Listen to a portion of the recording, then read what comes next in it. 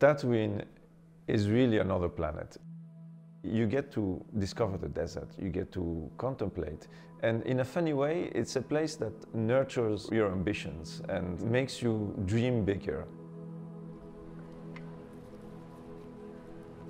Back when we started, it was almost impossible to get funding as an AI company originally founded in Africa. Even the concept that we were going to do innovation in AI seemed very far-fetched. We took this concept and turned it over its head. We would do world-class innovation and actually get it done with a majority African team.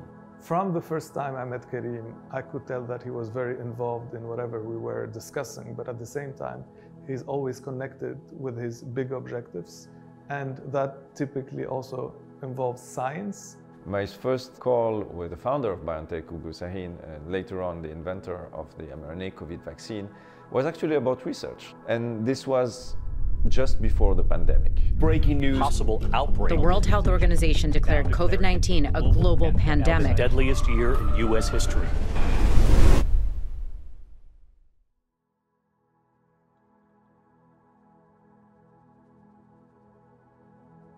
We saw an opportunity to make a contribution with AI during the pandemic.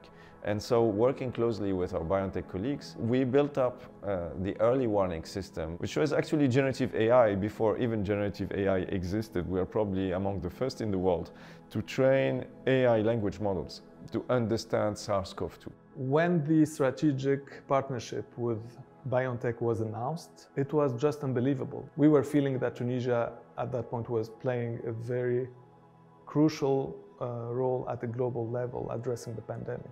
It's the most powerful technology of our time. And like any powerful technology, it is neutral. So it all depends on who's using it and using it for what. The future is not written.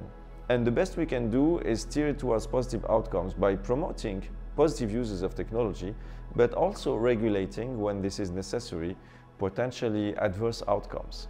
There is a compromise to be found, and this is kind of like an important conversation of today.